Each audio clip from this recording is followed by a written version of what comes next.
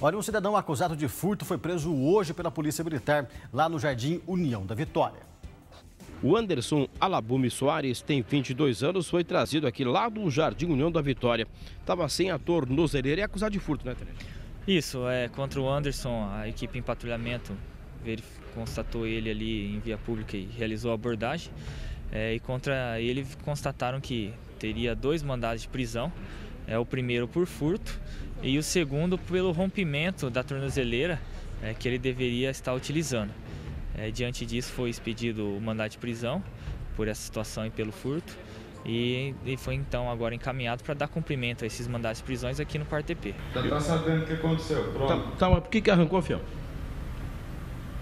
Hein? Arrancou para fazer umas fitas, alguma coisa não? Não quis conversa, se reservou o direito de permanecer calado.